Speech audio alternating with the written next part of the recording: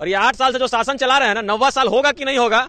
ये विश्वविद्यालय पटना विश्वविद्यालय तय कर देगा। हमने कहा ना भूचाल आ जाएगा भूचाल। कोई रोक नहीं पाएगा और व्यवस्था बहुत ही बहुत में वो ताकत होती है कि बड़ी से बड़ी सरकार को गिरा देती है। यहाँ तक कि आपके हवाई जहाज़ जिसे आप सफ़र करते हैं खरीदे हैं हवाई जहाज़ उसका भी चक्का हम नहीं हिलने देंगे। कल अट्ठाईस तारीख है और कल का बंदी एक बड़ा संदेश है सरकार के लिए। वो अपने जेल को खाली करके रखे। हम पूरे बिहार के छात्र उसमें जाना अब शिक्षक जो हैं उन पे एफआईआर हो रहा है क्या गिरफ़्तार होने देंगे शिक्षक लोग? नहीं नहीं बिल्कुल नहीं। शिक्षक जो है हमारे गुरु है वो मांग कर रहे हैं अगर शिक्षक गिरफ़्तार होता है तो पटना की सड़कें फिर जाम होगी रेलवे ट्रैक जाम हाँ, शिक्षक के लिए छात्र जाम कर देंगे। बिल्कुल। खान सर हो या कोई भी हो। कोई भी पटना के शिक्षक हो कोई भी ऐसे छात्र शिक्षक हो जो छात्रों के पक्ष में खड़ा हो सरकार के खिलाफ बोलता हो उसके साथ पटना विश्वविद्यालय के छात्र नेता बिहार के तमाम छात्र नेता उसके साथ खड़े उसको डरने की ज़रूरत नहीं है। पीछे खड़ा है आरआरबी एनटीपीसी का आवाज़ खान सर हैं।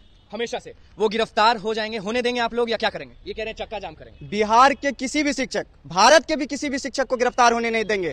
जो भी शिक्षक आज एनटीपीसी या आरएडबीसी के पक्ष में बोल रहे हैं या नहीं भी बोल रहे हैं, अगर उसको बिना मतलब के भी गिरफ़्तार करती है तो ये पटना विश्वविद्यालय का छात्र ही नहीं, पूरे बिहार के छात्र जो है इसके लिए आंदोलन करेंगे। शिक्षक जो हमारे मार्गदर्शक होते हैं, उसको कैसे गिरफ़्तार कर सकते हैं? क्योंकि एक शिक्षक ही, एक छात्र को सफल बनाने में उनका सबसे अहम भूमिका रहता है। इसलिए ये निकम्मी सरकार सुन ले जो अपने पुलिस प्रशासन के द्वारा जो लाठी चार्ज करके शिक्षक को गिरफ़्तार करके जो तोड़ने का काम होने देंगे। कभी नहीं होने देंगे। बिहार में क्या हो जाएगा अगर वो लोग गिरफ़्तार हो जाएँगे तो? पूरा चक्का जाम कर देंगे। इन निकम्मी सरकार को उखाड़ फेंकने का काम करेंगे। और जो छात्रों पे लाठी बरसाई जाती है वो कितना सही लगता है आपको? ये पूरा पूरा गलत है। ये सरकार अपनी विफलता को छुपाने के लिए लाठी चार्ज करवा रही है।